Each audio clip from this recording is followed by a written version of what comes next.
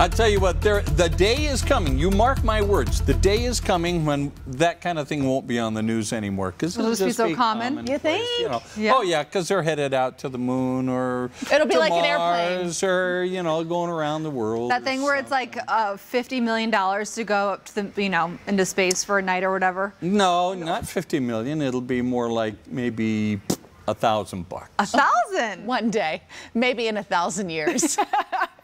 Everybody does it.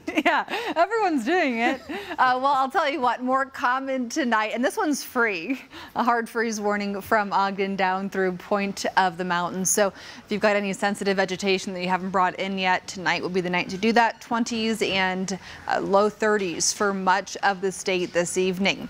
Our next big impact arrives next week. Let's go ahead and fast forward you through middle of next week, Wednesday into Thursday, our next cold storm drops in from the northwest. We see some more areas of rain and snow. So we've got dry conditions for the next couple of days. If you need to do that transition to your winter tires, your snow tires, or buy some better tires for the season, now would probably be a good time to do that as opposed to waiting a few more weeks. Hour by hour into tomorrow morning, you wake up, it'll be about 25 to 35 degrees out, and then we're going to have temperatures rising tomorrow into the 50s for much of the state. St. George, you're close to 70 tomorrow. Saturday, 71, 70 on Sunday, 71 for Halloween. And then there's that cool down with that next chance for rain and snow middle of next week. Next Thursday, only 50 for a high. That is a good 20 degrees cooler than it will be this weekend and Halloween.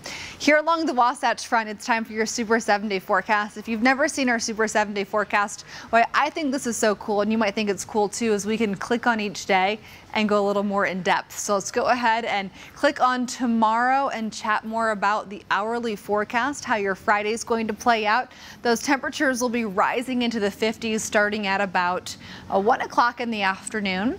And so you'll have a beautiful day. You'll have good air quality. Saturday we'll have a cloudy start and then we're going to end up with Sun moving through. We're going to have temps close to 60 on Saturday. Here are your main weather headlines. Cold tonight, hard freeze warnings for the Wasatch Front. Mild weekend and then some very great weather for trick-or-treating on Monday. Let's talk more about that. If your kids are probably asleep right now, you're wondering for their costumes, what do you have to do? Will be chilly. I would certainly recommend grabbing a sweatshirt or something that could go underneath the costume or incorporated in a nice little jacket. By 9 o'clock, you're into the 40s. So sun's going to be going down obviously early in the night, about 6 o'clock. And then we're going to head into middle of next week and we're going to see that chance for rain and snow returning. So that'll start to go up next Wednesday. Wednesday, scattered storms for Wednesday and Wednesday night. And then we could even see some snow mixing in by next Thursday.